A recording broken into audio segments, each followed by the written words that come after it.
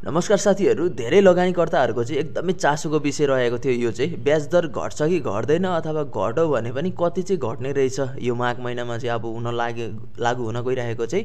So ब्याज दर चाहिँ अब घट्छ कि घट्दैन भन्ने विषय त एकदमै चासोको विषय रहेछ। सो फाइनली यहाँ हेर्न सक्नुहुन्छ ब्याज दर घटाउने चाहिँ ब्याङ्कर सङ्घको चाहिँ निर्णय भइसकेको छ। कति के रहेछ भनेर म हजुरहरूलाई देखाउने नै छु है त।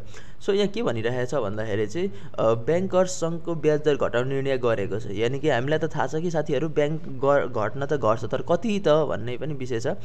वाणिज्य ब्याङ्कको चाहिँ छाता सङ्गठन सङ्गठन नेपाल ब्याङ्कर्स एसोसिएसन चाहिँ एनएमबिएको आज बसेको चाहिँ बैठकमा माघ एक गते एक गतेदेखि लागु हुने गरी ब्याज ब्याज घटाउने निर्णय गरेको हो।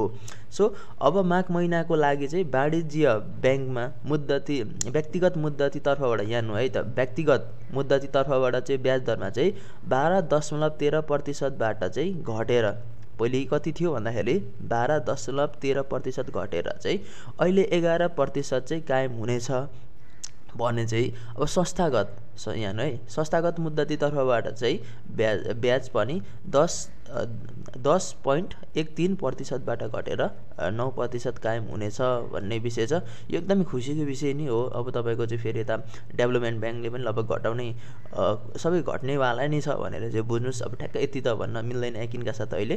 तर हाम्रो यो ब्याङ्कर सङ्घको ब्याज दर घटाउने निर्णय चाहिँ एकदमै बजारमा एउटा राम्रो इफेक्ट अथवा एउटा असर पर्छ कि भन्ने चाहिँ भएको छ। सो आज हामीहरू चाहिँ बजार हेर्छौँ आज बजार हेर्छौँ अथवा तपाईँको चाहिँ सप्लाई कतिको आउँदो रहेछ भन्ने अनुसार चाहिँ गउँला सो आइतबार नत्र आज मार्केट हेरेर चाहिँ आइतबार चाहिँ के गर्ने अथवा आइतबार चाहिँ आइतबार त गते भइहाल्यो तपाईँको। अब लाग्ने आगामी दिनमा चाहिँ अब एक दिन छोडेर चाहिँ अब जहिले मार्केट खुल्छ सोमबारतिर। सो हामीले त्यतिखेर चाहिँ एउटा बाइङ गर्ने सिचुएसन हुन्छ कि? सो आज बजार हेरौँ के हुन्छ भनेर। सो अहिले त ठिकै छ घटेको छ। यो भनौँ न ठ्याक्क निप्सेर तपाईँको चाहिँ अब ब्याज त ठ्याक्क विपरीत हुनु चाहिँ पर्ने हो वास्तवमा। एउटा ओपोजिट हुनुपर्ने तर धेरै प्राइसमा गएको छ त्यसलाई एडजस्ट गरेर तल आउन पनि बेर छैन। सो ती कुराहरू चाहिँ एकदमै मध्यनजर गरौँ लगानीकर्ताहरूले भन्दा पनि अब त ट्रेडर्सहरूले चाहिँ एकदमै कुराहरू चाहिँ बुझ्नुपर्छ। लगानीकर्ताहरूले ठिकै छ मार्केटमा चाहिँ अहिले लगानी गरेर चाहिँ लगभग पनि बाइस सय चौबिस सरी चौबिस सय पच्चिस सयको यात्रामा बेच्छु भनेर एउटा भनौँ न एउटा लङ टर्म भन्दा पनि मिड टर्मको लागि चाहिँ होल्ड गर्ने एकदमै राम्रो अवसर चाहिँ देखिन्छ। So thank you so much यही न्युज चाहिँ हल्का तपाईँहरूलाई चाहिँ हिजो मैले अलरेडी एउटा भिडियोमा लाइभमा मैले भनिसकेको थिएँ सर कति के कति घट्छ के घट्छ? भनेर भन्दै हुनुहुन्थ्यो।